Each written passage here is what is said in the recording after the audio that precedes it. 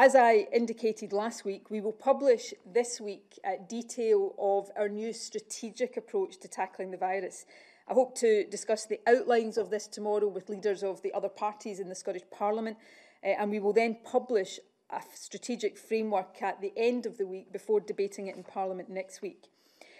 One of the things the framework will set out are the different tiers or levels of intervention and restrictions which may be applied in future, either locally or nationally across Scotland, depending on how the virus is spreading.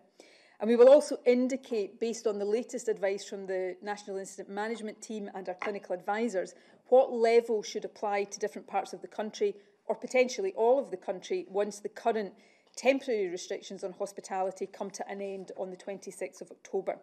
The framework will also summarise our work to improve the effectiveness of existing measures to curb COVID, for example, uh, how we will work to improve compliance with facts, advice and all of the other guidelines, uh, the review of our testing strategy and how we will continue to support test and protect, and also how we will provide support for businesses and individuals so that they can comply with all that they are being asked to do uh, either now or in the future.